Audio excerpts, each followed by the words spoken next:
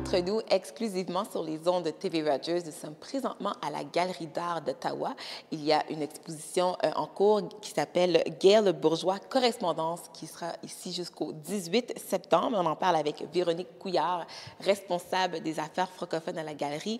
Guerre bourgeois qui est une artiste que vous avez invitée à participer avec la collection, une collection particulière, donc qui est la collection Firestone. Oui, c'est bien ça. C'est la collection Firestone qui, euh, occupe une place de choix ici à la galerie.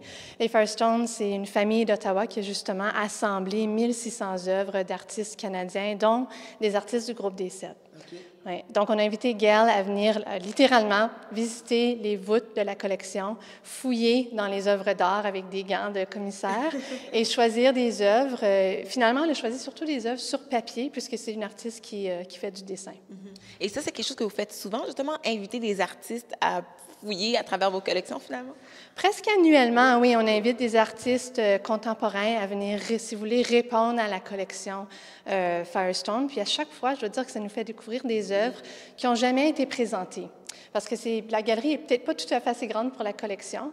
Donc, on a des artistes qui vont choisir des œuvres euh, qui n'avaient pas eu la chance encore d'avoir leur tour, si vous voulez, dans la galerie. Donc là, la collection Fondation, on a dit qu'elle s'est inspirée du groupe des Sept. Qui est le groupe des Sept? On fait un petit retour historique là. Le groupe des Sept avait pour mission, en fait, euh, c'est, en fait, à un moment donné, il était 13 artistes, pas juste sept, ouais. à euh, s'intéresser au paysage canadien, puis vraiment utiliser le paysage canadien pour euh, nous faire connaître, si vous voulez, euh, nationalement et internationalement aussi. Mm -hmm. Donc, euh, le groupe des sept, typiquement, c'est du paysage canadien, des lacs, des montagnes, des arbres. Euh, puis ici, ce qui est intéressant, c'est que Gail a choisi de représenter ce qu'on ne voit pas de la nature, donc oui. un peu le contraire de ce que le groupe des sept a fait. Oui, parce que c'est ça, le groupe des sept, on voit, justement, quand les gens vont venir ici, il y a deux, deux sections, si on veut. L'autre côté, c'est le groupe des sept, on voit plus la nature. Et comme tu dis, ici, c'est ce qu'on ne voit pas. Puis là, je lisais, bon, on est, euh, c'est racines en rhizome et en réseau mycélien. C'est quoi ces bibites-là? Alors, les rhizomes et les mycéliens, c'est des choses qu'on ne voit pas dans le système des, des plantes ou des arbres. Donc, euh, on parle de racines.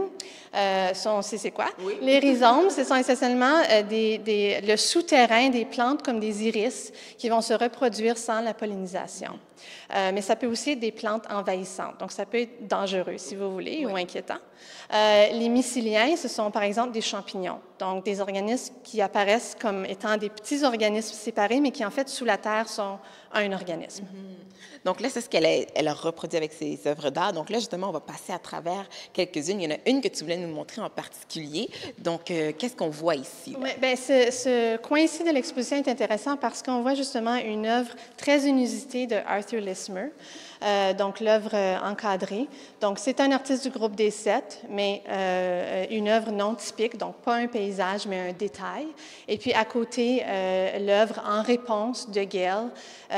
donc ce que Gail a fait en fait pratiquement, c'est qu'elle a documenté le travail de la collection Pour ensuite, en studio, produire des œuvres d'art en dialogue avec euh, les œuvres historiques. C'est ça, parce que qu'est-ce qu'elle voulait créer justement en créant cette exposition-là? Parce que ce qui est de particulier, c'est que on ne sait pas nécessairement laquelle qui est une œuvre du groupe des sept, laquelle qui est la sienne. Donc, qu'est-ce qu'elle a voulu créer, justement? C'est ça. C'est vrai que quand on rentre dans l'exposition, il n'y a pas euh, trop d'indices à ce que, quelle œuvre on regarde. Donc, euh, pour c'était, je pense, important de ne pas nécessairement euh, décider pour le visiteur où commencer dans l'exposition ou par quelle œuvre d'art commencer. Donc, on n'a pas besoin de commencer par l'œuvre historique.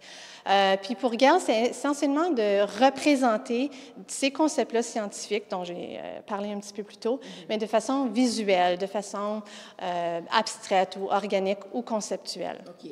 Donc, elle, quelles sont les techniques qu'elle utilise pour euh, sa création? Parce que, bon, je vois qu'il y a de la peinture, il y a toutes sortes de techniques qu'elle a utilisées, là, finalement.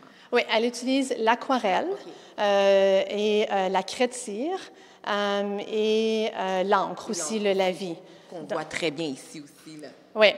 Et ce qui est intéressant, c'est qu'on voit un peu les mêmes matériaux dans les, le travail du groupe des sept ou des œuvres historiques qu'elle a choisies. Ce n'est pas nécessairement juste le groupe des sept. Mm -hmm. euh, mais tu, ce sont des œuvres qu'on n'est pas habitué de voir parce que ce sont par exemple, des, des peintures à l'huile finies, si vous voulez. Ça peut être des esquisses faites à l'encre ou euh, justement à la craie ou au crayon. Donc, euh, donc il y a un, ce, cette communication-là aussi, ce lien-là entre les, les deux euh, corps de travail. Tu parles de communication. Le nom de ton exposition s'appelle correspondance, il y a quand même une signification euh, derrière ce mot-là. Il y a même un, petit atelier aussi que les gens peuvent participer justement. Oui, alors au milieu de la galerie ici, euh, c'est pas souvent qu'on a la chance de toucher des œuvres d'art dans une galerie. Alors ce que Gail a fait ici, premièrement, il y a deux choses que le visiteur est invité à faire. On est invité ici à manipuler, si vous voulez, des petites sculptures qu'elle a produites, mais aussi on est invité à s'asseoir euh, au petit studio, si vous voulez, prendre une carte ici. Donc, elle aurait utilisé des cartes euh, recyclées de la bibliothèque.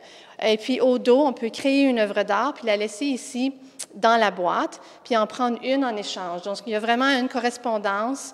Euh, on ne part pas juste avec les images dans notre tête ou les conversations peut-être qu'on aurait dans la galerie, mais euh, on peut partir avec, si vous voulez, une petite œuvre d'art pour la maison. Et de l'autre côté, on a dit c'est l'exposition des groupes d'essais. Donc, c'est qui les artistes que les gens peuvent, euh, vont pouvoir voir de ce côté-là? De l'autre côté, il y a en effet le groupe d'essais, mais il y a aussi des artistes comme Emily Carr. il y a des artistes comme Paul-Émile Bordua du Québec. Donc, les Firestone ont vraiment assemblé des œuvres du Canada, vraiment d'un océan à l'autre. Donc, ils représentent presque toutes les provinces, ou enfin toutes toutes les régions. OK. Donc, une belle exposition à découvrir. Donc, Guerre Bourgeois Correspondance.